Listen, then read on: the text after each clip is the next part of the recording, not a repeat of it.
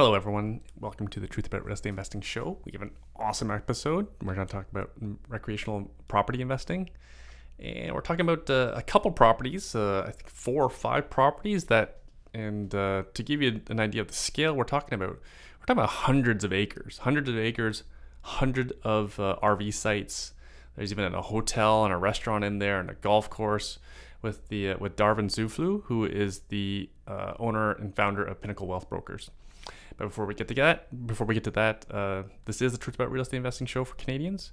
It is one of the top ranked podcasts on business and investing per iTunes uh, since, and we've been around since 2016, doing an episode a week. My name is Erwin Szeto. I've been a real estate investor since 2005.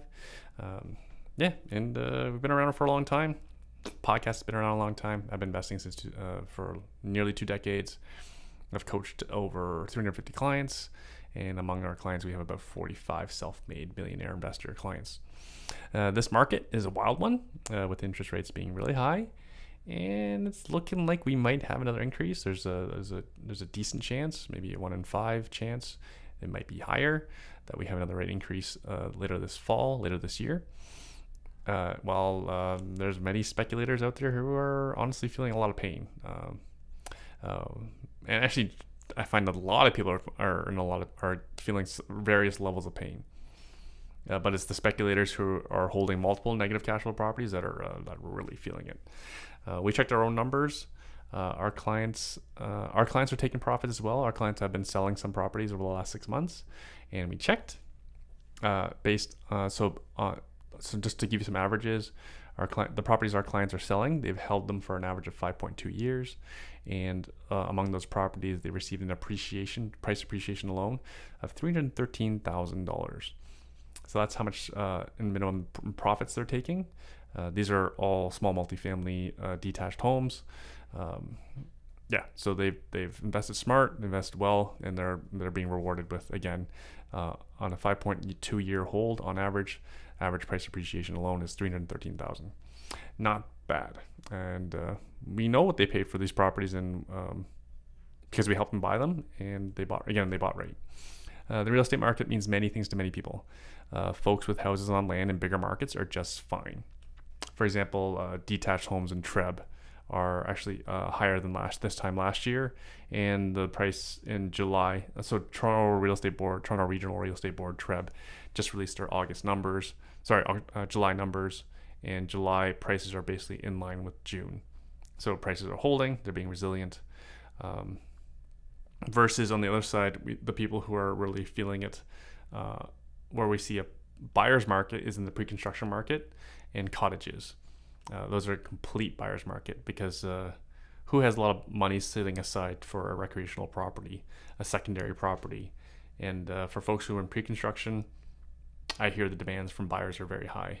You know, it, it was always dangerous, in my opinion, to be because uh, because the, the the pre-construction properties I would see that came through my email, the price per square foot was higher than the resale value of uh, on that day. So, for example, I was seeing pre-construction condos, the price per square foot would be sixteen hundred dollars a square foot, versus resale condos were going for like twelve hundred a square foot. So, in my opinion, it didn't make sense to risk that much. In general, I'm not a condo investor. In general, I, I like more control of my properties. Uh, but again, to buy new versus used, it didn't really seem to make sense. Anyways, um, all these investment options will likely be fine uh, in the long term, mid to long term. Uh, but uh, you know, if you're vacant, it's going to be painful, especially with another rate increase. And uh, we have a new housing minister. Our new federal housing minister was respons- previously responsible for immigration. So we're we're I, now I'm I'm a family I come from immigrants so I believe in immigration. I believe in controlled amount of immigration. I don't know what that number is but it seems like you know the fact that we've uh, you know, I remember when when Stephen Harper was in government the number was more like 245,000 immigrants a year. Now we're over half a million. So something may break along the way when you double your immigration. Anyways so my point is that long term likely be fine. Housing market will likely be fine uh, but again, it's all about weathering the storm. Uh, I was speaking to one Airbnb property manager um, in the Niagara region who shared with me that uh, more supply has come on come online in the market via new construction owners, uh, as they can't cash they they know they can't cash flow. These are single family homes they're they're buying, but they know they can't cash flow long-term tenants, so they're choosing to uh, do run an Airbnb, and they're hiring uh, these friends of mine to manage for them. So short-term rentals, uh, and I'm hearing why uh, from many sources that short-term rentals uh, for for a long time, uh, Airbnb investors are not performing as well as they used to. a friend of mine who's been operating Airbnbs for several years and was able to quit his job from his Airbnb income about four or five years ago, also shared me shared with me this that his Airbnbs are not performing nearly as well as they did pre-pandemic, and they are in very ideal uh, vacation areas. As for long-term rentals, um, our clients are doing just fine. Uh, I was just talking to one of my coaches. Our uh, client that has a triplex, they're now rented for just over seven thousand dollars a month. Um, you know, our clients may be vacant for a month or two while testing out record high rents yeah, that's the commonality between my clients that are vacant for a month or two. Uh, my last vacancy, which was just uh, two months ago, I, I had zero vacancy. When my tenant gave me notice, uh, we immediately found another tenant to move in the the, the the, the first of the month. So, anyways, rent prices, uh, rent market, long term rent market's doing fantastic in, in the markets that we operate in, like Kingston and Hamilton. Uh, speaking to Coach Steve Phillips on my team earlier this week, and he shared with me that how in Kingston his client just signed uh, a tenant for twenty six hundred dollars for a three bedroom main floor apartment in Kingston, Ontario. Uh, and uh, we have a client that just rented out. Uh, they're close to signing a lease. Uh, maybe I'll hold on to that number, but they're they're close to signing a lease for their brand new garden suite. So it's the first of probably it's probably the first garden suite uh, to be well, at least it's the first garden suite to be rented among our clients in Hamilton. So I'll, I'll, I'll wait until that lease is signed to release that number. Uh, on the other hand, uh, small market novice and landlords appear to be struggling based on the conversations I'm having with investors who have been reaching out. They've been taking us up on our portfolio review offer. Um, small towns that are far away from the GTA, which were darlings of, of real estate in the early pandemic, are now correcting. Is this now the new normal? Mm, long term, everything will hopefully be fine uh, if they can find tenants. In the short term, um, we're we're uh, we put out that uh, request for folks to send in their what uh, what they have for sale because we do have some clients that are looking and writing offers still. Of course, our clients are being very picky because they can, as uh, you know, there's a lot of motivated sellers out there. So if sellers aren't that motivated, then then our clients aren't interested. Uh, but my point is that uh, we are seeing some wonderful turnkey deals in bigger markets. Um, so markets with you know over 150,000 population. Uh, why is that important? Uh, bigger cities and turnkey, uh, a move-in ready small multifamily, to me means lower risk. I think that means to everybody that means lower risk. Uh, one mistake I find new investors make, uh, well maybe two mistakes, is that they believe that they, what they see on HGTV, that money in real estate is fast and easy, which it isn't. It can be further from the truth. The other is that more work and effort means more returns. Uh, for example, I mentioned uh, earlier some of our clients are taking profits and paying down debts while rates are high. Uh, well, the best performing property among those was a, a turnkey property we, we bought from a builder. Uh, I sat with that builder to design a house that would be the perfect student rental, and it was. Uh, the house was built with uh, safety in mind. we had a lot of building code requirements for duplex built built into that property, even though we had no second kitchen uh, each of the basement bedrooms had egress windows. We uh, I had the builder do a lot of fire rated drywall and Roxul safe and sound, so there was a lot of fire separation in ceilings and mutual uh, walls. And uh, that house, along with the other similar houses that our clients owned, they got the highest rents in the market, and there were no renovations required. It was incredibly turnkey. It was just put up the rent the for rent sign and rent it out to students that client after a seven year hold, that client walked away with $489,000 in price appreciation alone. 489,000 uh, uh, after a seven year hold. That's nearly half a million dollars from just one income stream. That didn't include cash flow, it didn't include mortgage paydown. Uh, my point is that turnkey small multifamily can be a viable option. So don't discount it in thinking that uh, you have to buy an ugly property that requires months to renovate plus hundreds of thousands of dollars in renovation budget and who knows how many permits or zoning change or use change or variances. Uh, again, uh, from my experience, our clients' experience, you can make a lot of money just buying turnkey. Uh, as a sophisticated investor, uh, one should always look at all the variety of options available to you and make decisions holistically. I've had several calls with novice investors considering uh, investment options as far as like four hours away or that they get on a plane because the property's out of province. Uh, versus, I tell clients all the time, it's not that hard to make money closer to home. If you can't make money in your own home, in your own backyard, then what makes you think that someone can be successful in a market where they have no contacts nor no relationships? It's obviously possible. Uh, past guests of this show have, have done so, uh, but not everyone is willing to put in that kind of full time effort, nor do they have a partner or spouse earning six figures, uh, that earns six figures to pay the bills and put food on the table. Remember, cash flow is important. In my experience, having worked with over 350 successful real estate investors, uh, investing within an hour drive is, is can return world class profits. Uh, it can be done as a side hustle. Uh, over over 90% of my clients they still have their day job they do real estate investing as a side hustle and they're doing incredibly well with their real estate portfolios uh, they didn't do they didn't do so investing in pre-construction condos they don't flip uh, they don't do any sort of these, these high high effort high risk strategies that provide that require private borrowing i was speaking to another investor recently who has a very successful airbnb uh, but they cannot get a mortgage so they're stuck in a uh, they're stuck paying 12% on a private mortgage. So, yeah, there's many options. Again, you should be using a spreadsheet to make your decisions to, to understand all your options. Uh, trendy fad investing can work. Uh, it just seems to take more savvy, deep pockets, uh, risk, and effort. Uh, when, keeping, uh, when keeping it simple, tried and proven works just fine, in my experience at least. Uh, the sad thing with, with housing is that with prices so high, it's only going to be the rich who can afford deals in the current market and going forward. Uh, even more sad is this situation will only get worse when the rate cuts begin sometime next year, based on what the bond market's doing. Because because when when you see that first rate cut, you're going to see all the the rest of the buyers get off the fence and push this seller's market into a further seller's market. If you don't believe me, it's already a seller's market. The June Toronto Real Estate Board, uh, Toronto Real, Regional Real Estate Board, their days on market was 24 days. It took an average of three and a half weeks to sell a property.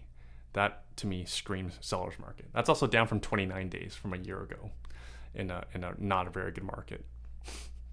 so yeah, so if you're not, if, uh, you know, check out the stats for yourself. You don't have to believe me necessarily.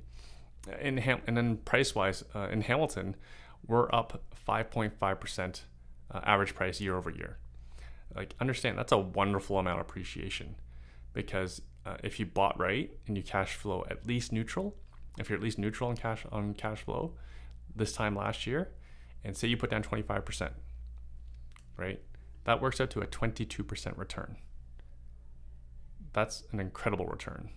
And again what do you think is going to happen when interest rates come down as they're expected to mid to late 2024 we should see prices climb and uh, we're going to continue sharing how our clients continue to earn world class returns via our online monthly iWin meetings and in person mastermind tours. So don't miss out.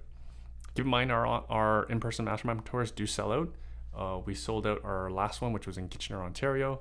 Uh, we have upcoming ones in Kingston, Ontario, and We'll have one in the west west of the GTA as well. It'll either be Hamilton or Niagara. So the best place to stay informed and be aware of when we have when we host these events is to be on our email newsletter, along with the 10,000 other uh, I-winningest investors in Ontario and Canada. Uh, many of my rich friends are taking advantage of the opportunities presented by this market, so find out how you can too. Sign up for our email newsletter at www.truthaboutrealestateinvesting.ca. Let me slow down www.truthaboutrealestateinvesting.ca. Enter your name and email address on the right side, and you're set to become a very well informed, sophisticated investor. Uh, so, speaking of simple, tried and proven, uh, Cherry, the kids, and I just returned from a week long vacation in Muskoka. No, we didn't stay at some luxurious cottage, but rather we stayed at a family camp at the YMCA on this huge property that someone, some lovely person donated to them to the YMCA 110 years ago. There was lots of greenery, uh, an incredible amount of lakefront, and uh, most importantly, the camp counselors were wonderful as they entertained our uh, our kids via their programming.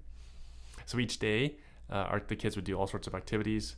treetop trekking, wall climbing, canoeing, kayaking, swimming, sailing, nature walk hikes, uh, arts and crafts, archery, all sorts of fun things that, that people do at camp. In the afternoons, uh, as a, then we do we could do the same activities as a family. Uh, we pretty much did them all, except arts and crafts. I usually like a little more excitement. Uh, meals were provided, which uh, so we didn't have to cook and clean. Our accommodation was a cabin uh, with ten bunk beds, uh, so very simple accommodation. The same cabin that the overnight that the re- normal regular overnight campers kids use. So it's no frills, no air conditioning, no bathroom. The bed was not built for someone my size. Uh, we had a blast. Uh, the beds could have been better for my back and my sleep, but the kids had a blast. Uh, the camp counselors were amazing. We enjoyed the meals, the campfires, and the related singing and performances, and uh, just being disconnected from technology and the city. Uh, this was our second visit to the YMCA family camp, uh, our first since the pandemic, and we plan to be there back there next year. A simple vacation, uh, camping is tried, tried and proven to be fun for kids, and it works. Now, on to this week's show. Uh, we have my friend Darvin Zurfluh, who has a huge private equity brokerage. It's actually, in terms of uh, capital raised, they are the largest and they have the largest network of uh, brokers as well. It's called Pinnacle Wealth Brokers. Uh, if you've been around the investor community, uh, you've been attending events, you've likely seen them around. Um, but today we had the founder of, the company joining us from Calgary, Alberta. If you're not familiar with private equities, well, you need to be, as uh, um, as a good private equity is part of the reason why you hear me say things like, "It's uh, today's the today's time is the best time to be rich," as the options for investing have never been so good and available. Um, I was introduced to Darvin when I asked my own Pinnacle Wealth Broker representative, Steve Blaziak. I asked Steve for uh, if he knew anyone who did large scale uh, recreational properties to be a guest on my podcast. That's how we I got connected with Darvin. We since become friends because we share so many things in common. His recreational properties are much bigger than mine. uh, and also because uh, I know so many of our listeners are interested in, in Airbnbs and recreational like cottage investing. Uh, Darvin has been investing in, in he's been in the investment industry uh, since 1997 when he started at the at the bank, and he's since uh, progressed to owning a couple hundred acres. Uh, Darvin shares how he recently purchased about four or five properties that total several hundred ac- uh, acres. Uh, including among those properties, there's hundreds of uh, recreational vehicle RV sites, dozens and dozens of cabins and campgrounds, and there's even a hotel and a golf course in the mix. Uh, Darvin details the story behind that purchasing that golf course property, uh, the analysis and the value add, add strategy that goes into it, which I think uh, I find it fa- particularly fascinating. So I hope you do too. Uh, in general, this is a fascinating interview into entrepreneurship in the private equity real estate investing space at a large scale. Again, uh, Pinnacle Wealth Brokers has raised over a billion dollars in capital. Um, Steve tells me it's closer to like 1.6 or 1.7. Website currently says 1.2.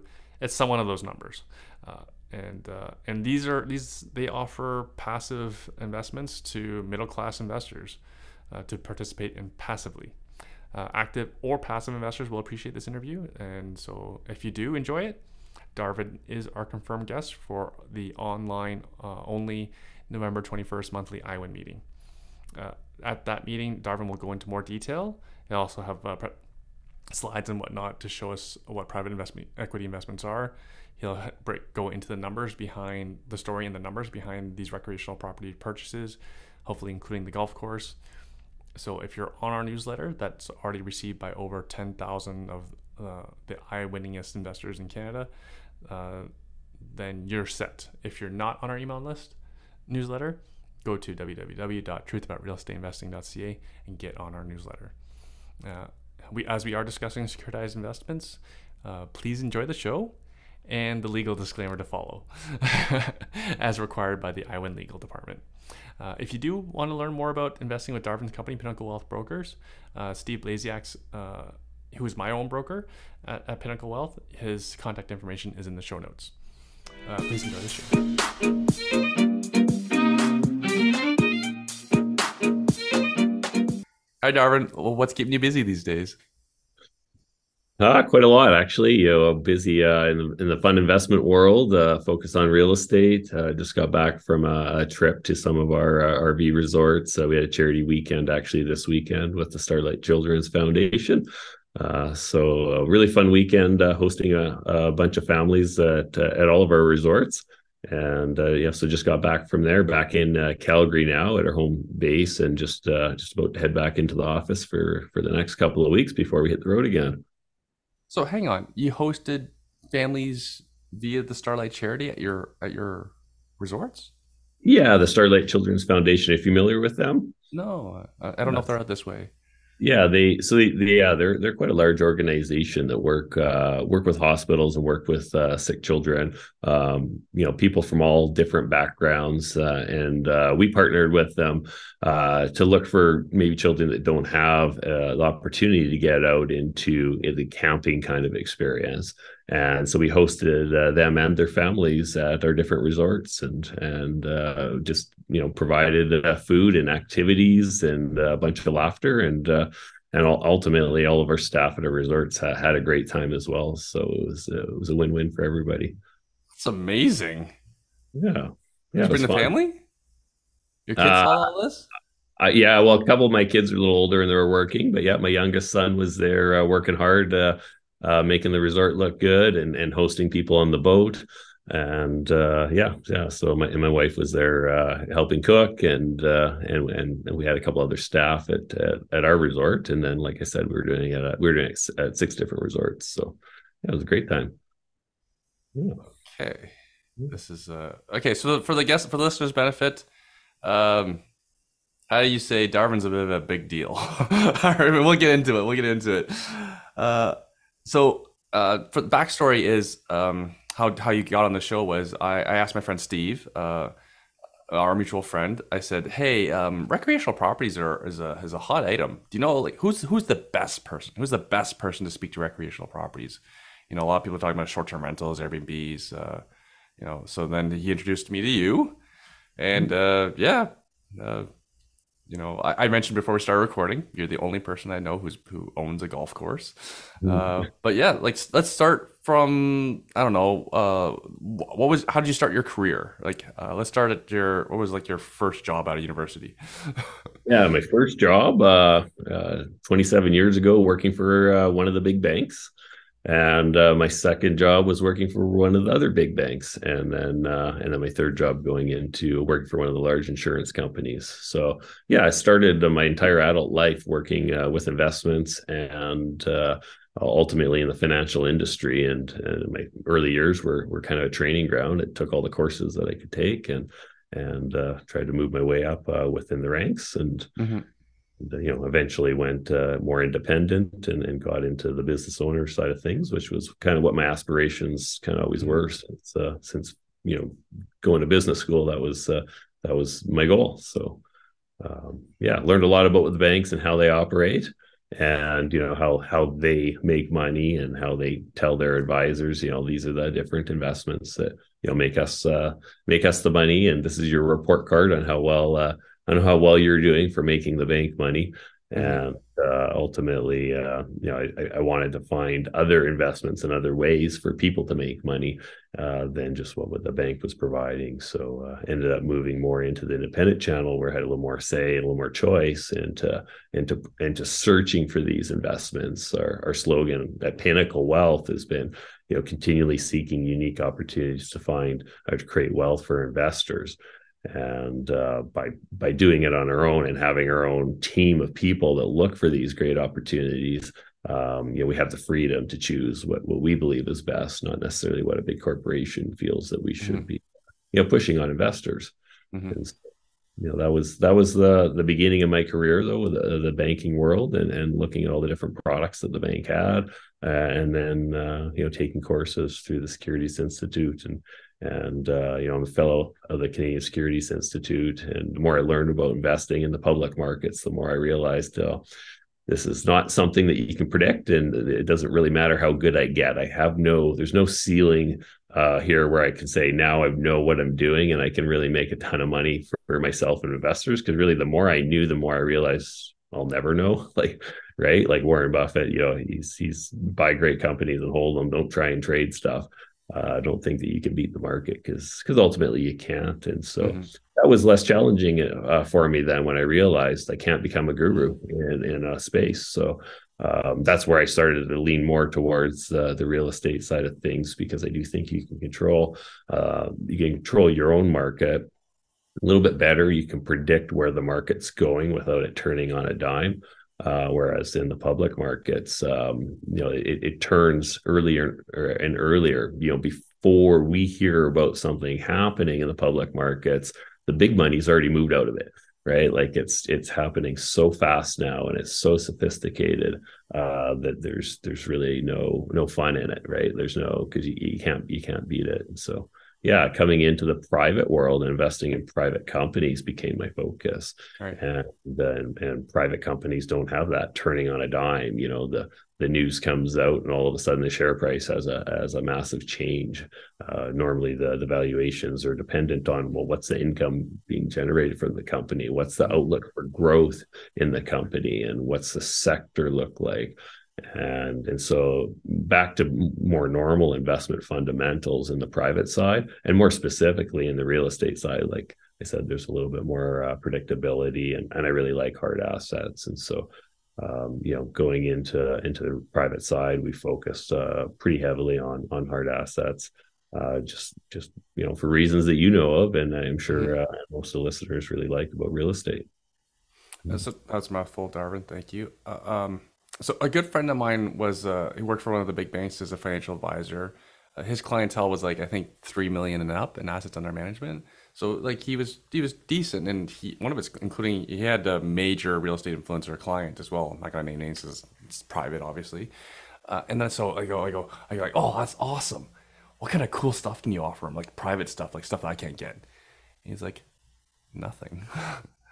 no no private equity options everything yeah. that everything that that that you know like 10 million assets under management guy i can get all access to the same stuff and it's all you know all stuff people are not aware, aware of gics mutual funds etfs like so, so, so what do you guys do different then so yeah. what, what, was your experience like that were was there many hard asset options or real estate options for while working uh, at like while working for financial for public financial institutions nothing at all back then. Um, Zippo?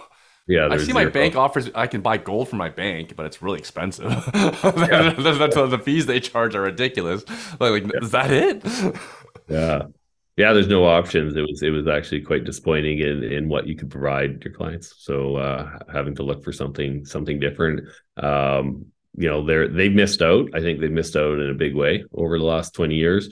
Uh, I think they realized that, and today I think they're still trying to figure out how do they do it, how do they mm-hmm. get into the space, and, mm-hmm. mm-hmm. and uh, so there's there's going to be a slow change over the number of years, but right now the options are still very limited. So, uh, so at Pinnacle Wealth, did you did you buy it? Did you start it? Yeah, I, I founded it at Pinnacle Wealth. So, like like you were saying, uh, uh, the way it came to be founded was was almost by by accident. But when you talk about how you ask a broker, like, can you invest in real estate? Can you invest in privates? Um, there was no option. So I started doing that for my clients when I left the bank and the insurance company. I was looking for these private options as an independent you know, and I was a business owner, didn't intend to have brokers at the time. I just wanted to be able to offer publics and privates to my client base. And what I found was that a lot of my new clients were actually financial planners that worked at the banks or they worked at a large mutual fund broker. And I'm like, why you guys, why you guys buying your RSPs for me? Like it just like, and you know, it just really clicked when I was driving uh, on the road from a road trip, signing up a bunch of clients on flow through shares. Um, you know, because flow through has a very short window of season when you can get in to get your tax deductions. Uh, but but again, uh, most of these clients again were financial planners. They understood these investments. They couldn't sell them to themselves, and uh, ultimately, uh, some of them were asking, "Hey, can I come work with you? Can I do what you do?" And so ultimately, uh, we had a, a, broker network being formed. And uh, back in 2009, we were the rated by uh, Fast 50 Growth, number one Fast 50 Growth uh, company in Alberta, um, and you know continued on that path. Um, and and did some rebranding and ultimately went national uh, with with Pinnacle Wealth Brokers uh, in 2010, and uh, and it was a unique time in the marketplace, uh, yeah, with with regulations and a lot of a lot of regulation changes kind of came into place because uh, our, our regulators, uh, province by province, were seeing the, the, the demand and the change for for uh, private investments and what they call. So, sorry, know, Darvin, you're having to be regulated un- under every province. Are you? Yeah. How many provinces so, you're regulated under? That sounds like a pain in the butt versus like versus a single regulator. Yeah, wait, I believe in the states it's just one regulator. There's one one national. That's right. One one national regulator. So um, yeah, it's something that's a little disjointed in in Canada. Having our provinces, I have ten different provinces that Pinnacle Wealth Brokers is regulated in. So, so is that, isn't that like a lot more expensive than necessary? I know, obviously, you have to do it. Like they write the rules. So, but Mm-hmm. Our compliance department is is our biggest department because uh, you go from one insurance regulator, kind of they do their routine reviews, and then the next province comes. They all have their responsibilities to oversee the activities happening in their province. Right. And so, so your compliance happens. budget must be millions. it's expensive. It is expensive. the cost of doing okay. business for sure. Right. So not okay. It's not a business you start overnight. no no, it takes time to build for sure, and it's not it's not the easiest business to be in for sure. So how I got introduced to Pinnacle, I don't think Brian Pullis was mine that I share was uh, this was years ago. So uh, a friend of mine, Brian Pullis uh, of Pullis Investments, um, uh, he he he was one that introduced me to Pinnacle because he was telling me how uh, he wanted to be on the on the best. He wanted to work with the best. Yeah, and, and that's how he ended up with you guys. I know, it, and you know, I heard it was a long process. You guys, you guys are uh, just from what I hear, you guys are not. You guys are quite picky. the diligence period is long, like a couple years. Uh, but yeah, but that's that's how I got first introduced to Pinnacle, and that was like that was a long time ago. Yeah, Brian and, and Poulis have been one of the the REITs that we've been raising money for for for many years now. And uh, you know they've they've done very well and, and been a successful uh, investment for us as as most of our REITs have been. Um, but we do get approached uh, quite often, and so we do have to have a very detailed selection process that our corporate finance team goes through from you know the finance side, the legal side, the client side, and the you know the sellability. What's unique about them and what what them sell in a portfolio. So because what yeah. I've heard is, uh, you know, if you want to be bigger, you uh, like raising capital is either a full time job for yourself and not several others, or you can work with someone like Pinnacle Wealth. Uh, so can you can you uh, explain for the listener what it, what Pinnacle Wealth Brokers does?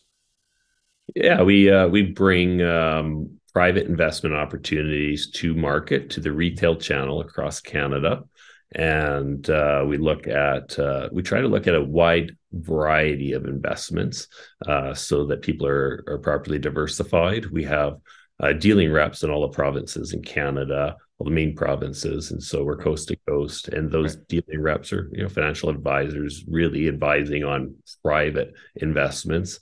Um, in Quebec, they're also able to become mutual fund uh, uh, licensed if if they wish and um, some of them are a life insurance license. And so really they're and they refer to portfolio managers on the public side if they if they're not offering that themselves. And so we're a portfolio manager as well. So there's different registration categories but we offer public investments uh, mm-hmm. but our niche is really just bringing these private opportunities to market helping get the offering memorandums created uh, so that we can go raise capital uh, in, in a compliant manner, and and then ultimately we we stay up to date on the investments that, that we're raising capital for, and uh, and work with them. Uh, you know, if if uh, on the financial side, and and monitor the investments uh, as uh, as they grow, and and ultimately, you know, we see the benefit of them growing and becoming successful.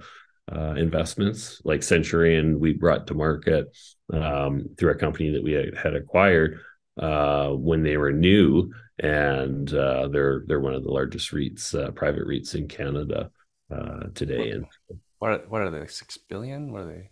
I think they're yeah they have a few different funds now, and it adds up to about six billion dollars. Right. So so. Um, Yeah, because the the uh, is it the president or the owner? He has a wonderful newsletter. So for listeners, like if you're interested in geeking out on uh, what someone consumes and thinks about real estate, who man, yeah. who who manages six billion, check out check out his newsletter. and, and um, um, what's my next question? So uh, Pinnacle's quite large, are you not? Like you're national. I can't imagine many are many EMDs are national. Yeah, we, I think we uh, we have more dealing reps, uh, so more presence uh, than anyone in Canada. We're we have about seventy, I think seventy eight dealing reps uh, uh, from coast to coast right now. Um, raised about one point three billion in retail dollars into the exempt market products that we offer. And uh, you know, and like I said, we're growing growing on that side, and and uh, and also trying to reach out to the financial advisor network, like I said, that work at the public companies, and then just show them like that's part of our goal in the next five years to really show them what they can have access to, because they can come and offer uh, what we have to offer and what they can still offer what they have to offer so they can properly diversify their clients yes proper yeah. diversification i think is the key word there uh, and and so uh, for the for the newer listeners or you know, the smaller investors, when when so from what I see is when when um, when say like an apartment building investor wants to scale up, uh, generally capital is their is their biggest issue. If, assuming well, most of them are quite talented at finding good deals, uh, mm-hmm. but you know you kind of need to focus on one thing. Uh, most of them seem to fo- most will will uh, go to someone like you to try to, to raise the capital for them. So mm-hmm. so I imagine you get a lot of people asking you to do their fund their uh, capital raising for them. What do you think it is like ten to one? Like asked to actually get on your shelf as an offering, hundred to one? Yeah, um, I know we, we we used to track that a little bit better. Um, it's about one a day that approaches us. And uh, you know lots of those don't even have an offering yet. They just have an idea. Some of them have a full offering memorandum already done but we want to make changes. But yeah we only add um, six to eight new kind of offerings uh, or maybe less than that maybe less than six offerings a year now uh, so the yeah the ratio is is certainly uh, very very challenging for an issuer to try and get onto the shelf. You got to have a track record. You got to really have a strong team behind you. Uh, you got to have really good corporate governance, and you got to be in the right sector. You got to be offering something unique. Can't just be raising capital so that you can you know buy something to grow for yourself. Uh, it has to be like how do you really provide extra opportunity for investors you know, to provide an above average mm-hmm. return. That's what we're mm-hmm. looking for. Mm-hmm. You know, and we look at risk adjusted return like just ultimately that's what it's about like if the risk can be higher return for investors has to be higher too sadly i find uh, the understanding of risk adjusted uh, returns is uh, lost on many people like for example i've seen like promissory notes for like 17% so unsecured loans for 17% and i'm like you know uh, the credit your credit card will want like 20 to 30% for that same kind of security and risk that you're taking on. Why would you yeah. give it away for 17%? yeah. yeah. Uh, anyways, uh, let's move on. Um, uh, uh, so how many products can you give it can you give us like a high level number uh, give us a, a listener a, a, high level understanding of like what kind of products you guys offer uh, um, opportunities you offer because i've talked to steve and it's like it's it's uh, it's incredibly varied. he was telling me about like you have some like you have some like music one as well. yeah, yeah, yeah. We when we look for something uh, like unique opportunities to increase wealth, right? That's our mandate, and so a lot of stuff you'll see will be a little bit different than what you you find. So Steve mentioned uh, uh, music royalty fund. So um, through ICM, they they they have the investment business and they have a REIT, but they also came out with the music royalty fund and brought some talented people together uh, to buy uh, you buy uh, songs that have a long-standing track record of being played, and you get a royalty uh, when those songs are played. It goes into back to the owner of the of the song. Um, and what we like about it is it's very diverse. It's not correlated with uh, your stocks or your bonds or your real estate. and so um, yeah, just a very unique opportunity that uh, that provides a, a consistent return. Has mm-hmm. risk the song could stop being played, mm-hmm. right? Like you look at the the Friends soundtrack or whatever that was on the the TV show Friends or whatever that one went up for sale and um, as long as it keeps getting played, uh, there's there's royalties coming back, and so that's one.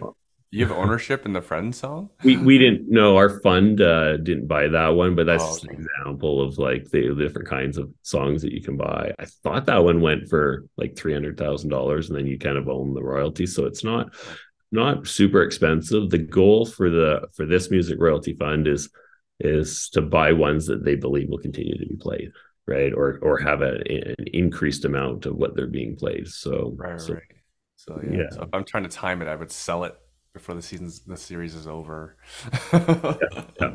yeah, there's a lot that goes into into their right. business for sure uh, and the key again good great management team uh you know with uh, that understand what they're doing and understand the business and very prudent on the financial side Right. Uh, it's, it's easy to get excited about something, but you got to make sure it makes long term financial uh, right. success. And, and you uh, mentioned uh, you do you you have Centurion, which is incredibly boring apartment buildings, six billion. Yeah, just apartment buildings. Yeah, but uh, some of the very best managers in the space, right? So uh, they they've provided us double digit returns, you know, for for a long time now. So right. last fifteen years. Yeah. Uh, oh, so we my mom's invested in the the car wash fund. car wash fund, yes, yeah. yes. So you know, we, we thought, well, what's a unique aspect uh, where, where you can get into real estate, but maybe they can generate a little bit better return than, than typical real estate. And so, car wash, you have the business side, you got the real estate side. So, we like that asset class. I think that was probably closer to 2015 when we got into that. Mm-hmm. Um, and then after that, it was uh, storage facilities like mm-hmm you know, can you consolidate or build uh, storage facilities where, where there's high demand? So that was nationwide that started doing it in, you know, closer to Van- in Vancouver. You know, instead of going buying cheap land where the storage is spread out, they thought they'll, they'll you know, go more vertical and and be more walkable uh, and and closer in proximity because there was high demand for that mm-hmm. uh, in Vancouver. So that that's just you know one other real estate kind of asset class. Mm-hmm. We have stuff that's not real estate at all. We we built a fund we call it Pinnacle Institutional Access Fund, and it's it's it's access to BlackRock as a money manager and uh, and so they they invest into private companies that are much larger scale than than other companies you would see on the Pinnacle Wealth Brokers shelf. Uh, so they're investing uh, in, in, the United States and Europe and Asia. And, and so they anyway that that is one of the funds that is is very unique to us. Uh, we we chose not to use their real estate funds because we have lots of real estate, but they're they're buying secondaries funds, uh, funds in private companies that uh, maybe large investors need liquidity so they might need to sell the, the private fund that they got into you know five years ago and so now they sell a pool of uh, of private investments and and our institutional BlackRock uh, fund. those managers of BlackRock, you know, mm-hmm. money largest money managers in the world, uh, decide which ones that they want to get into and and get out of. So that performs very well. Uh, and, and makes up uh, uh, you know a good chunk of my registered plan portfolio. Um, and then, uh, yeah, we have lot, lots of different kind of unique opportunities that, that mm-hmm. we're always looking at, but that gives you a, mm-hmm. kind of a, general scope of like, you know, what we do at Pinnacle Wealth Brokers. Uh, that's why uh, when I explain to someone uh, new to this space, I, I say, uh, you know, this is the way I explain it. Is uh, the analogy I use is it's like a mortgage broker who has access to many different types of mortgages and lending products. you guys are a broker of different investment opportunities in the private equity space. Fair. That's right. Yeah, we exactly. That's a really good way to explain kind of what we do. Yeah. Right. And your job is to quarterback which we think is best for the client.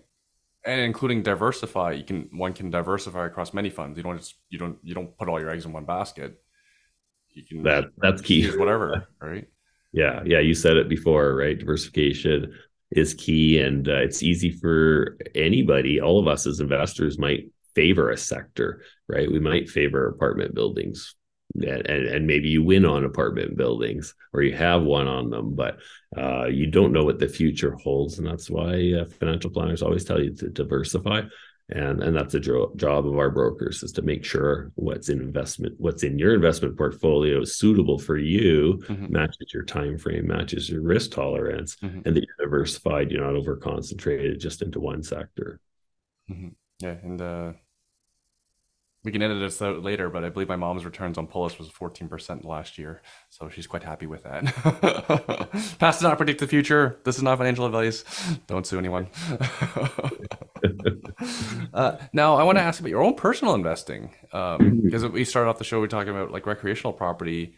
And, and uh, yeah, please. Like, um, like you were talking about like Warren Buffett, for example. Like, Warren Buffett of course corrects along the way like, mm-hmm. did, like ten years ago, did you ever think you'd be buying recreational property?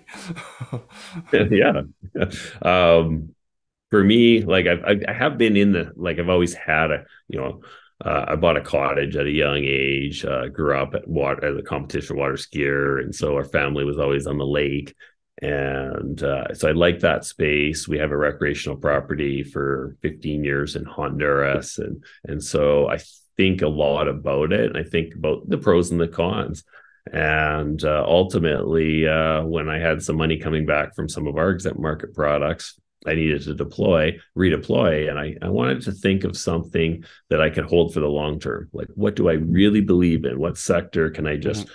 you know, have a 10 plus year time horizon that I can invest in? And uh, uh, ultimately, we we thought the campground space hasn't really been touched by big investors. So um, you know what you've seen happen with apartment buildings or even office space it hasn't really happened in this space yet. And and we happen to be living in um, you know alberta and we spend our time in british columbia. Those are the two best places in north america to invest in this space.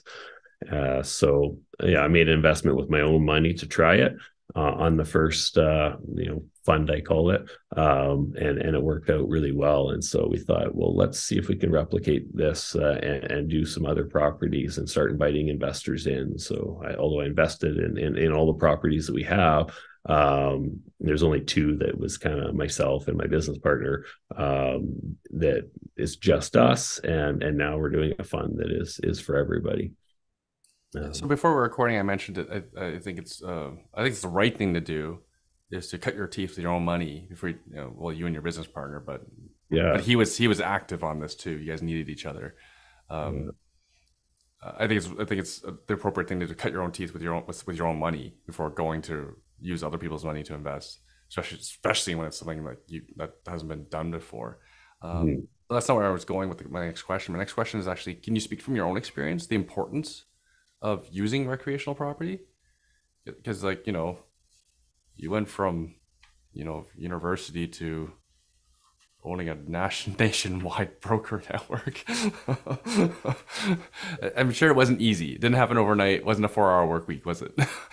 no, no. I read the book, loved it. Great concept, but uh, uh, yeah, getting down to 40 hour work week still a, still a goal. Um, so yeah, how did I get to recreational space? Is your question? Uh, well, uh, like, what's your experience? Like, how important is recreational space to your to yourself? Because again, like your journey has not been easy, right? Hmm. I'm sure there was, yeah. you know, your business building. You, you know, you had a startup, right? I'm sure. I'm sure. I'm sure that's stressful. You have like you have four kids. Four kids, yeah. Four kids, yeah. Busy, busy. Yeah, so I guess you know from my family aspect, getting into the recreational space seemed like a good way to start finding balance. Uh, you know, that's one of the slogans we use at Pinnacle Lifestyles. Is, you know, finding balance. Um, getting out of the desk for me was a big thing. I spent a long days in front of a computer, and eventually that catches up with your knees, your back, your neck you know, even your, your forearms if you're typing. And so, uh, yeah, health and fitness. Um, I, I, grew up being more athletic than I, found myself as an adult because I wasn't getting out enough, uh, playing playing enough sports. And so, yeah, but this, I realized that's when you're happy too, is like after a workout, you usually feel better, right?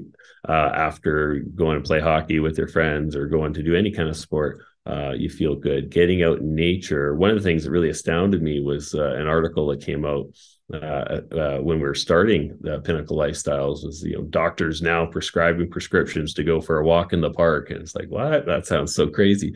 And uh, but the more you read into uh, into nature, the more healing uh, you realize that it does for you. And so in some cases, it, it can replace antidepressants, but ultimately it does it does make you feel good. It re- releases endorphins to be out in nature and just hear the creek the water running through the creek and the birds chirping and and and just to get outside uh, hiking and walking in the park uh, is really good. So for me it was a feel good thing. It was health for me looking for what's healthier for me in the future and uh, and, and how do you help others?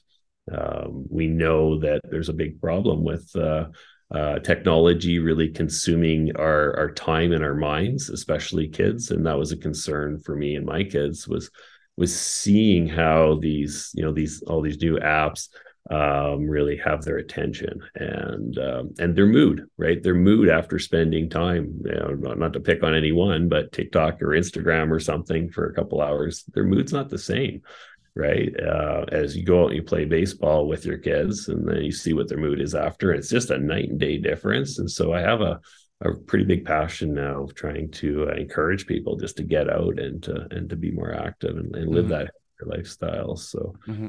yeah, it's a bit of a feel good investment for sure.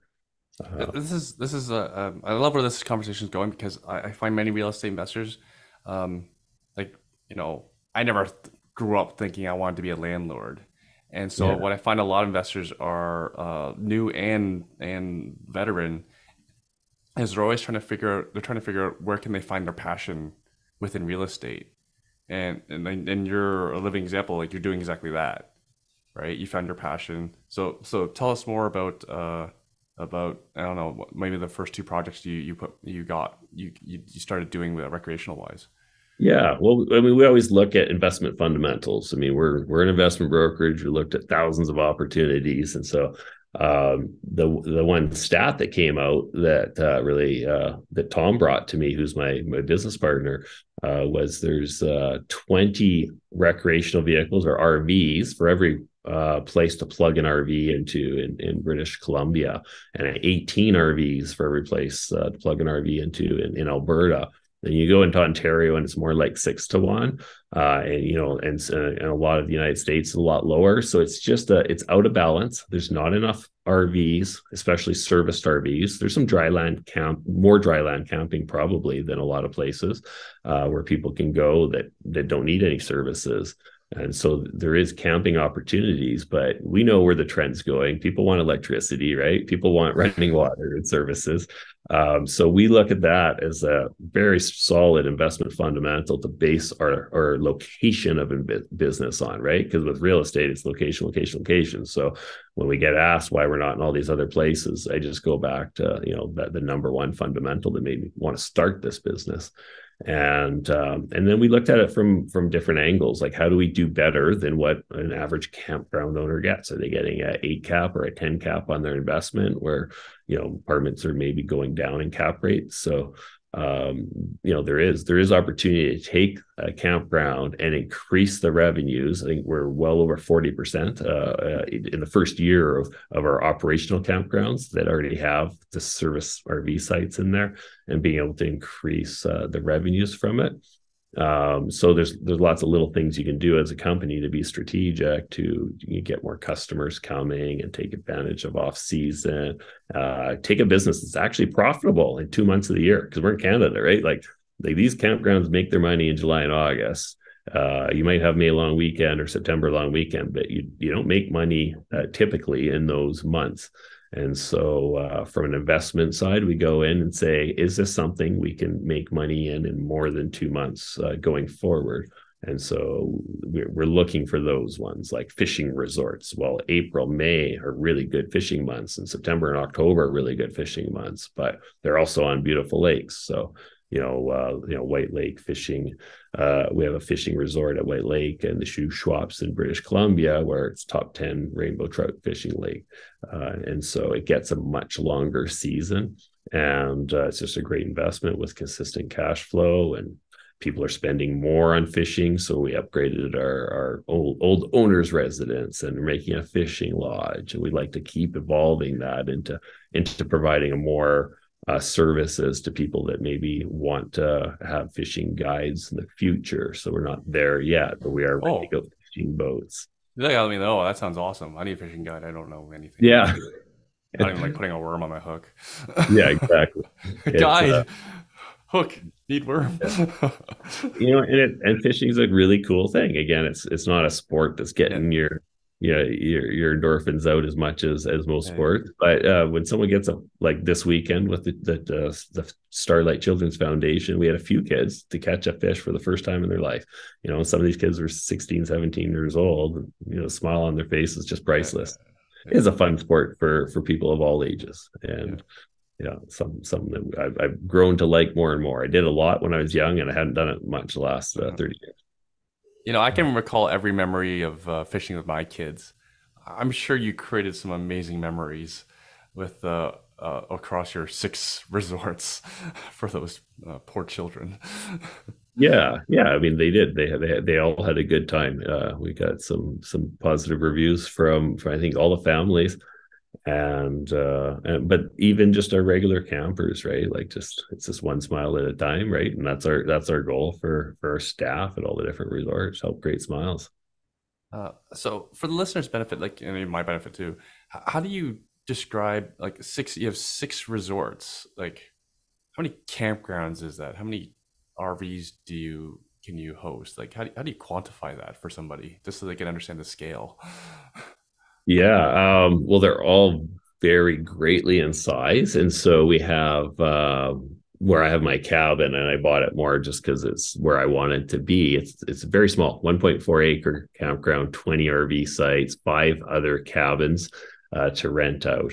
And then, okay, that alone's pretty big for somebody. five cabins, 1.4 acre, 20 RV sites. Okay, that's that's uh, that's more than a mouthful for mouth. Okay, so that's one. yeah, um, we have one in Edson, which is the first one that, that I bought with Tom, and, and it was uh, 143 uh, fully serviced RV sites. Uh, we got a private lake. We got a couple suites, like condo style suites, and and uh, and a cabin on that one. And we have like 100 acres of expansion room. So we'll keep building RV sites on properties like that. Uh, we have we have the the golf resort Kokanee Springs in in the Kootenays, and uh, that one is uh, 432 acres. Uh, so it didn't have any RV sites. We bought it and and we put on RV sites. So we just we're just launching, uh, like I said, at the beginning of June, um, like 36 RV sites uh, for for rent and then 26 RV sites for sale. And we have nine new cabin lots that uh, we've constructed on that property. And then uh, then we. Oh, sorry. Are the cabins for going to be for like Airbnb or, or, or your hotel or? It'll be well. There, it'll be ownership. So if somebody wants to have their own cabin for ownership, and then Pinnacle Lifestyle is actually uh, has a management company, and it's through our same investment fund uh, that that we manage. We'll rent those out. So if you want to rent yours out, we'll do all the work for them. We'll advertise it. We provide the cleaning and come in and, and get them rent ready for everybody in between customers. Okay, amazing. Okay, yeah, and then go going on to um, uh, other resorts. We have Revelstoke and Sicamous. Uh, I guess we have about 180 sites in our Revelstoke campground, and uh, I think it's 86 sites in the Sicamous campground. Um, uh, we have Golden. I didn't. That's not one of our six campgrounds because it's just it's 200 acres of riverfront property that's not developed yet. So it's nice, beautiful treed property um, actually on the Columbia River on both sides of the Columbia River, and it actually owns on both sides of the Wait-A-Bit Creek. So there's kind of a where two rivers can join. We we own all around this this beautiful junction of of two gorgeous rivers. So again, fly fishing and and the trails, the ATV trails and stuff from there are uh, are quite wonderful um, one of the top it's it's right across the the road from um, a staging area for sledders and snowmobilers so again it's one of those places that we can make a 12 month of the year season uh, close to the ski hill in golden and uh, but uh, beautiful summer and winter and fall and spring destination really so mm-hmm. So that one will put on a few hundred uh, RV sites, like we will with the Kokanee Springs Golf Resort. We'll put a, a few hundred, like three to four hundred on each of those properties. So yeah, that that kind of gives you an idea of, of the size of the properties, but the investment horizon of like continually being able to develop more lots in a resort that is already popular and attractive, mm-hmm. uh, and then allowing people to either rent or allowing them to buy. Uh, we have both options, and I think we're the probably the, the only unique company that does this in, in North America, where you can come in and you can kind of do both. You can have multiple properties, uh, so you can move around from from different uh, locations if you wish. Uh, but we're allowing people to invest, uh, not invest in a fund that owns all of these uh, different resorts, and we do have three different funds that own those ones that I mentioned. Uh, fund three is the one we're on now, and everything going forward will be in this this uh, Pinnacle Lifestyles Fund three. Uh, but they own the management company, so they own the rental revenues, they own the golf course, they own the. Ho- we have a 62 room hotel uh, that's at that golf resort, so they would own that.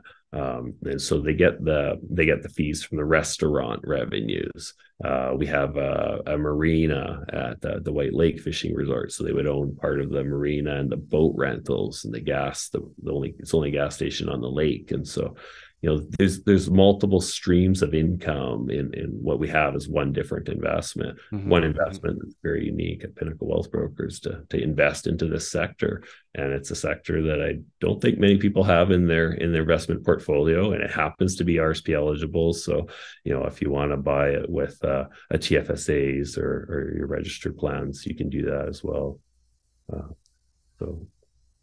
Darvin that was a mouthful Uh, how much how much did it cost to acquire all these properties, and over what period of time? Like I know one of them is one of them is a personal property or cabin, mm-hmm. but like all the other ones that were bought strictly investment purposes. Yeah, I, uh, don't quote me on the exact numbers, but we're in for about seventeen million on on the equity on these properties. Is that yeah? Over what period of time? Uh, over the last uh, three years.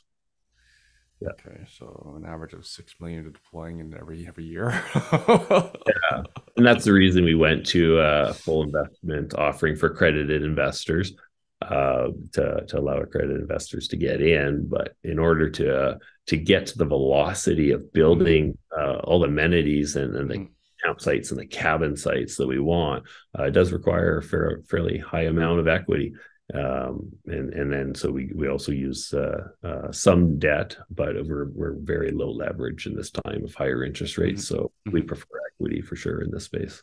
Mm-hmm. So I, am to speak to the listener. Like uh, you you've said, uh, you've dropped many golden nuggets. Like for example, uh, you mentioned you're trying to extend beyond just the summer season because um, like uh, generally for Airbnb, it is Canada. Generally, generally Airbnb, for example. most all of our friends and even my own experience was the summer killed Christmas killed, uh, as long as, mm-hmm. um, but then maybe Thanksgiving. But you know, that, there's a lot more to the year than that. So you mentioned snowmobiles. If it's uh, the property snowmobile um, near snowmobile trails, that'll be popular. You mentioned mm-hmm. fishing. That's a new one for me. Is uh, is hearing about like the uh, the the fishing um, opportunities within for that property make it more marketable as well. It gets you more rentals. Because uh, like, I literally have friends who rent the entire winters in like Muskoka, for example, to snowmobilers when normally yeah. you get nothing else. Like if you're not if you're a three season cottage, then you don't get that business. But if you do, then that's available. Right. Yeah, every property we have actually is uh, close to fishing, and every property we have is close to snowmobiling, and uh, and I think all of them are, are not that far. Edson would be the farthest from a ski hill, right? From a world class like ski destination. You know, Revelstoke. We're in the city of Revelstoke and it's the tallest vertical of any mountain in North America. Right, Golden has one of the one of the most popular ski hills, and we got three that are about an hour drive from the Kokanee Springs destinations. They're all. Damn, they're all... you didn't mention ski until now. Here in Ontario, you're in Blue Mountain. You're killing. yeah. yeah, no. Four of our properties are, are kind of in the the Rocky Mountain area. So we're you know Golden being the heart of the the national parks. You can go in all directions and find a, a national park within the Rocky Mountains from Golden, and and so from that standpoint, you see people coming from you know Eastern Canada, but you see people coming from Asia, you see people coming from Europe uh, because they want to go to the Rocky Mountains, and they want right. a lot of them do want to own a, a piece of that, right? They, and so I think in the future we're going to see a lot more people wanting to own, you know, in the national or close to the national parks. You can't own in a national park like you know Banff uh, is is the closest uh, uh, beautiful mountain destination for us in Calgary, but you got to drive past Banff and then you can go to Lake Louise and then Golden is next. So it's one of the closer destinations where you can actually have ownership to these kind of properties. Are you seeing much action from Americans? In Kokanee, we're starting to see them come back again for the golf resort. Uh, they, yeah, through, through COVID, that had slowed down a little bit, uh, but also increased in uh, people that were more local. Uh, they didn't have to travel as far. So we're seeing that. We're seeing in Revelstoke for sure. Uh, we, we, just have tourists because a lot of our properties around there on Highway One, you know, Revelstoke and and, and Sicamous and, and White Lakes off Highway One. So you, you get a lot of people coming from the United States and also from Europe. Uh, a lot of people will come from Europe and rent a camper van, and they'll stop at all these properties along the way between Vancouver and Calgary. It's a very mm-hmm. popular route. If I don't have a snowmobile, can I rent one from you? yeah, we don't rent them, but uh, no, coming we, soon. we yeah we work close with a company called Stomping Ground, and so they do they do a TV show actually, and they've done they filmed the TV show at all of our different resorts and, and they're big snowmobilers and ATVers, and so they have all the fun toys and equipment, and and so I th- I think as part of their future will be opportunities to uh, to get into snowmobiles, and they they That's do snowmobile awesome. tours, and yeah, That's awesome. They, yeah, they have pretty right. fun, fun show, yeah. Oh, uh, can can uh, can you share the story of the uh, how because for for someone, because I'm sure for the listener, this sounds all massive. Uh, it is because it is big. Can you share the story of how you bought the the, the golf course in Kokanee? Like, what was the story behind that? How much? yeah, yeah, that's yeah, it's a good question. That's a unique. Um, it's a golf resort that's been there for for well over 50 years. Very mature uh, trees um, and, and just a gorgeous property. Uh, it had different owners over the past, and like most golf courses, uh, when you build a golf course, very expensive, and then you got to build a customer base, and it's hard for all uh, well all the golf courses that we've really looked at. They've had a history of you know running out of money because they spend so much money on building it and developing it and then they bring in new investors or a new group buys it and then you know that usually happens two or three times when a golf course being established uh, so I, I've always wanted to stay away from uh, golf courses, but this one was quite special and unique. Uh, the last owner group, and this uh, was nine different investors, and uh, they've been in it for about 30 years and, and done done a great job with the resort in itself. Like it's the nicest golf course that I've golfed at. Like it's just absolutely beautiful. Uh, they were all successful business owners in different regards. Uh, you know, some real estate, some some not real estate, some oil and gas, um, and and they put a lot of money into this golf resort. And uh, they're all retired in that in that age. I think the youngest was seventy two or seventy three and you know the oldest was was well into their 80s so it was just time for them to move on. Uh, they actually approached us because they said you know what? This resort needs it needs pinnacle lifestyles and it needs our it needs rvs it needs it needs cabin. They wanted to create it. They actually had the vision that we're rolling out for kokanee springs. And so um, yeah you can see some beautiful pictures that, uh, uh, you know, kokaneesprings.com or pinnaclelifestyles.ca. But it's uh, it's a gorgeous uh, resort that just needed more people. Um, it's it's it's in the Kootenays, which it's across from Nelson uh, on the on that lake, uh, the Kootenay Lake, beautiful lake again for for fishing and boating.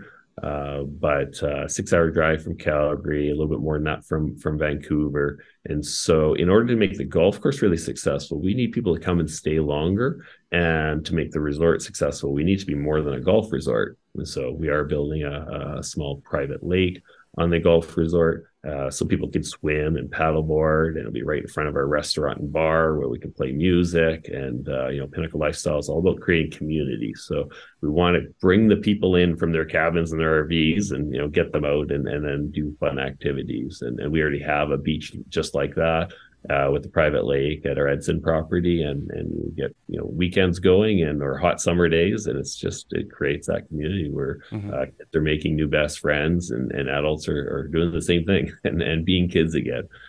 So uh, so they ultimately their vision sold us on like you're right. This is this is a golf course I would consider. Um, uh, you know, it takes time to build that community. Uh, they have a long-standing customer base that would come golf one or two or three times a year. Uh, but we want to figure out how to get them to stay there longer and how to increase the population in the area. And with 432 mm-hmm. acres, we've got lots of room to uh, to develop on. So that, that's a bit of the backstory to like how how we came about that that one resort.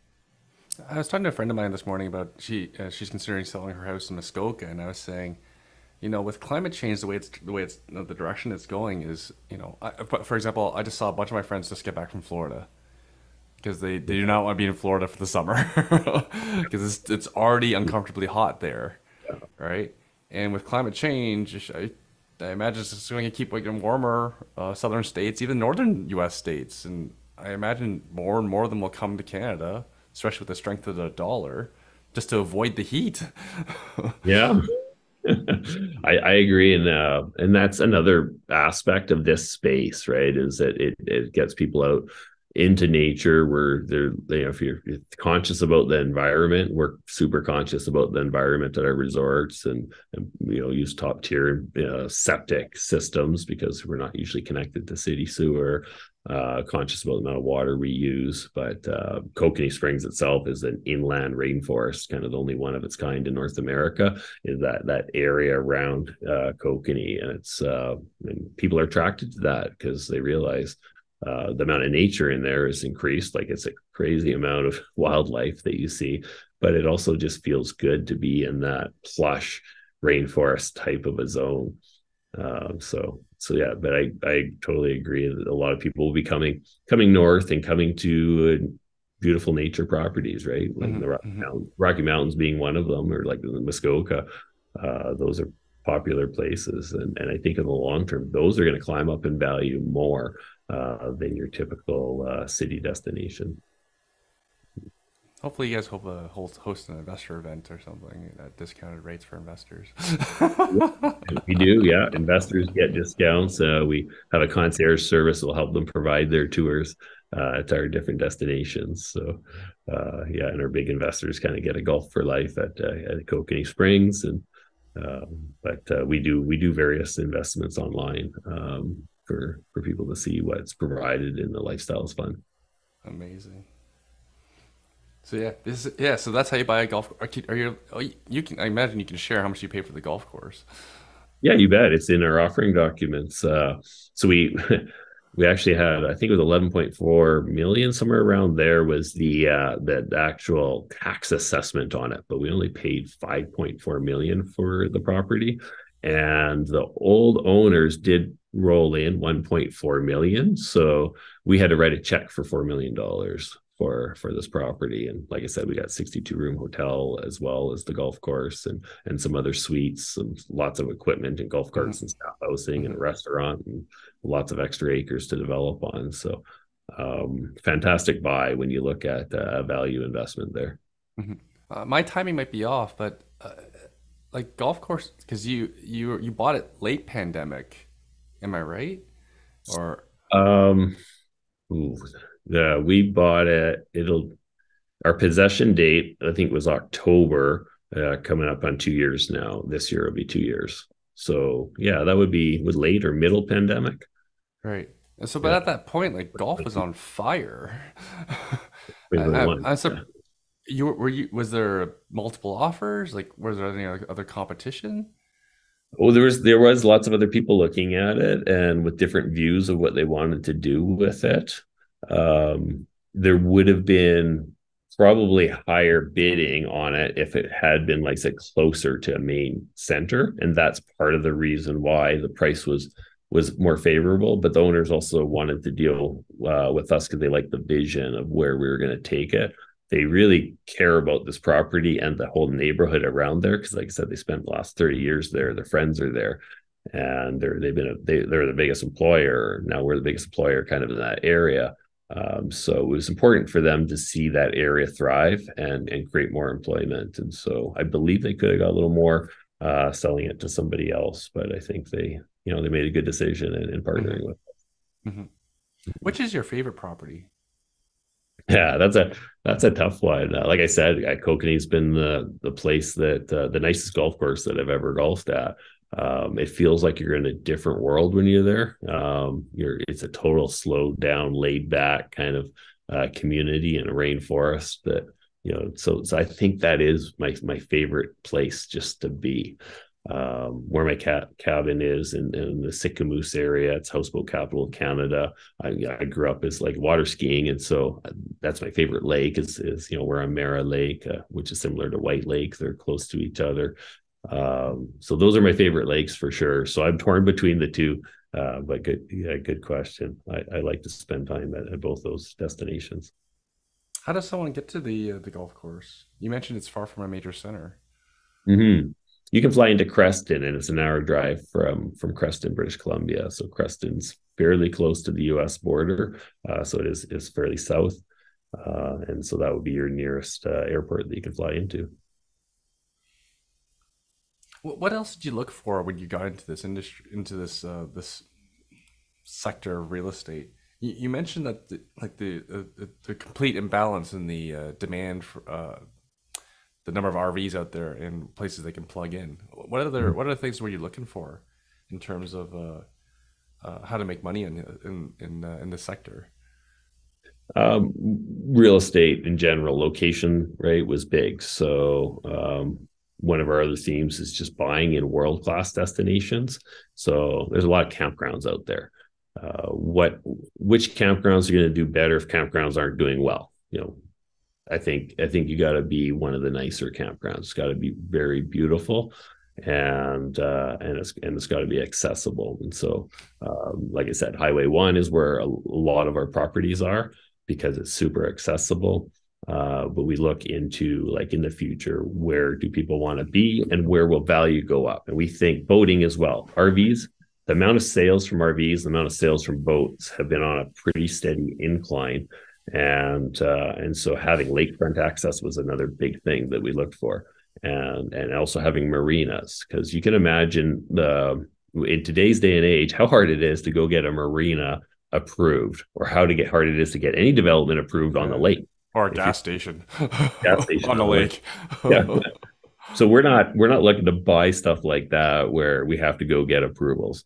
Uh, we avoid that, right? That's one of the things. Just stay away from because um, it's pretty bureaucratic world out there when it comes to getting those kind of approvals and it could take years you could spend millions of dollars and you could never get there and so we want stuff that has approvals or in like the golden situation where our golden property is um, there is no zoning uh, on there yet and there's so there's no there's no body overseeing or restricting what we can do and so we have the ability to develop a new campground just the way we want it uh, based on today's market demand. We're looking at doing geodesic domes uh, just to create the buzz and getting people out there uh, right above the river, and then know, continuing with the, the, the fly fishing that they do off of the river. Um, but we can do that because there's no restrictions. So we would avoid it if there was a, a need to, um, you know, get get a rezone on a property because that, you know, that can be difficult to do. Um, Darvin, I, um, I want to ask, as a lot of beginners and a lot even veterans, they're always looking for partnerships. They're looking to how to build their teams. Uh, so you came from a finance background. Uh, your company raises money for a living. mm-hmm. Who else did you need on your team to make this happen? Uh, on the wealth broker side, like to raise. Uh, no, on this rec- on this portfolio of six vacation recreational properties. Yeah. Like that's like that. You're not doing this all on your own.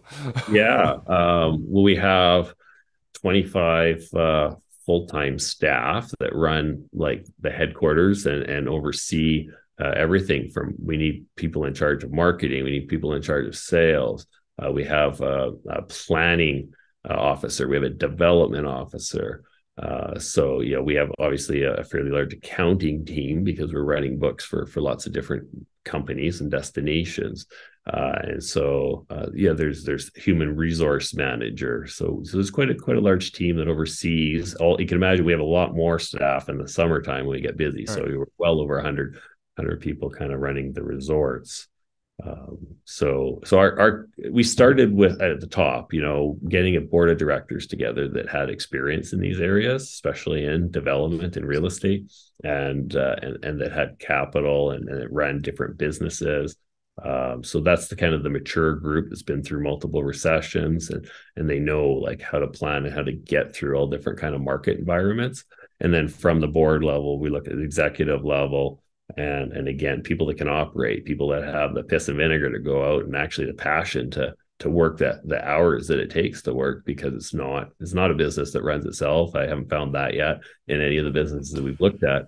Um this is a, and it's, something that we're building. We're not we're not buying to operate what was there. We're buying to take it to a totally new level. So every property we buy is it's got development on it uh, and it's got more marketing. We're bringing in a, a, more customers, and so um, buying buying uh, or building the team is is critical, and and finding the people with the passion to to run and operate. Lots of times we get lucky because we buy a resort that has people that just love it and they don't ever want to do anything else, and so we get to keep the, the on-site staff that are there, and we've gotten really lucky with that in, in, in a couple of our resorts but we have human resources to go out there and find people that are passionate about that mm-hmm. uh, to, to bring in uh, all the different roles we need for seasonal staff. Now, what about your business partner, Tom? What, what, uh, what's his job in this and what is his experience or background? Uh, he's good. He's a very talented um, young man that uh, did his master's in real estate. So he's his background, I would say, um, is a combination of of real estate and investment banker. Uh, so he's worked for big investment banking shops, small investment banking shops. Uh, when you're when you're doing the different kinds of investment that we're doing, uh, you, need a, you need a, you need that talent of somebody. He was my head of corporate finance at uh, Pinnacle Wealth Brokers. Uh, so he he spent a couple years looking at all these different private investments and learning what makes them successful, where are the risks, and and what to avoid and so uh, very talented uh, uh, man with with a really bright mind and uh, and understands the the numbers side. So he's he's really trying to uh, uh, you know make this work as an investment, and he does oversee the development and the operational team, and he's always making sure that the numbers make sense for everybody from an investment standpoint. Now you talking about, you mentioned numbers and where risk where the risk is like for um like before recording, I mentioned like there's there's investors going belly up, over leveraged, uh, likely variable mortgages and rates have gone against them. How, how mm-hmm. do you mm-hmm. how do you guys how do you guys um, uh, uh, mediate? No, how do you manage your risk? Yeah, we mitigate risk uh, with uh, with the debt level. That's that's our biggest thing. Like we we will never go over 60% loan to value but in general we're we're under like we're around a 40% loan to value and we want to keep that lower during times of uncertainty. And so we can because we have an investment dealer like one of the biggest risks is like you start spending money on development and if you don't finish the development you don't have renters you don't have your customers coming in yet. And so we see that is a big risk in real estate, uh, and and we avoid that by uh, uh, being able to raise money because we're an investment dealer. So if we need more capital, we can raise more equity. Uh, we don't believe we're going to run out of of the equity needed, but we also are avoiding uh, too much leverage, uh, especially because interest rates are higher. So the lower the interest rate, the more we'd be willing to do. And, and we'll slide up the amount of leverage as we're putting in a whole bunch of new RV sites with the intention that we're only going to put in what we think we can sell over the next 12 months. So that means that leverage is going to drop back down again in the short term. Uh, we're not we're not uh, leveraged over the long term, and, and our model has you know under 40% leverage uh, for the long. And correct me if I'm wrong. When you're raising capital, you're you're raising uh, equity. You're, it's not debt that you're paying interest on. That's right. We're raising equity only. Yeah, yeah. We do have we do have some financing and PDC C Finance Fund Two. Uh, we have a private lender that's Finance Fund Three that we hope to move over to some some uh, like a bank financing next year. And so there there's there's debt that way, but we're not raising capital for the debt side. Uh, you mentioned that you're um, that you mentioned that everything that you touch has approvals for example already. Uh, so that's a that's a risk that uh, novice investors miss out on. Is that uh, to for, to path at least the resistance would be to be on side with whatever government it wants, all levels. How, how yeah. is your how is government for you? Like the Fed, municipal, provincial, are they on board with what you're doing? Oh, I I think they they want it right. They want they want what we want as far as right. like getting people outdoors and and and, uh, and well, you're creating uh, jobs too. we're definitely creating jobs, a lot of jobs, uh, and and a lot of environmentally friendly uh, development.